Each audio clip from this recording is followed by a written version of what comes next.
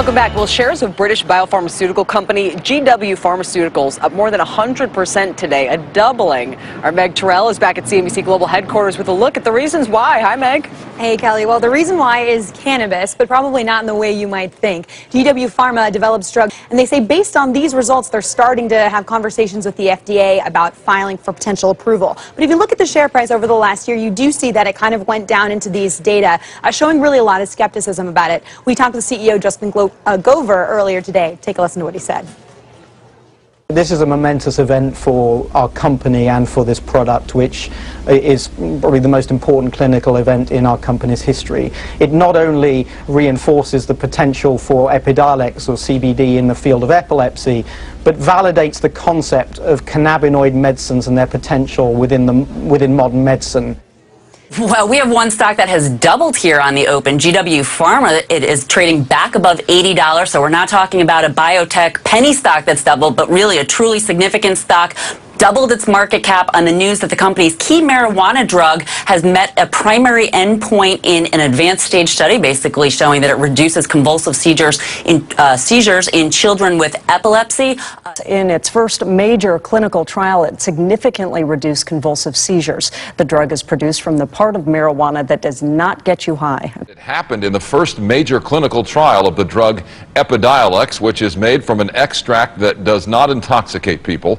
If it wins regulatory approval, the medicine would be the first prescription drug in the United States derived from marijuana. First of several final phase three clinical trials found that the drug helped patients achieve a median 39% reduction in monthly convulsive seizures. The drug is given in syrup form.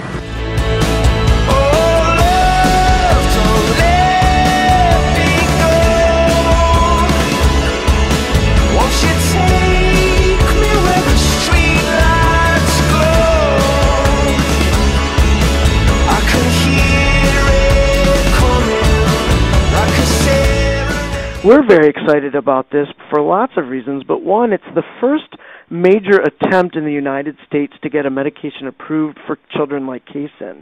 Her doctor is Angus Wilfong at Texas Children's Hospital. He says the results for Dravet syndrome were significant.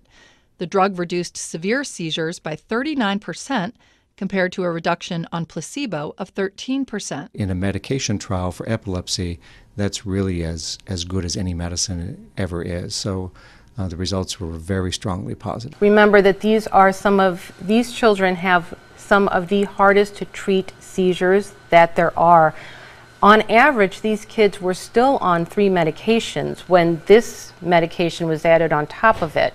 So a 39, nearly 40% seizure reduction is significant. Uh, so there is a huge unmet need for children with Dravet, as well as other children with refractory epilepsy, uh, for effective and safe and well tolerated treatments.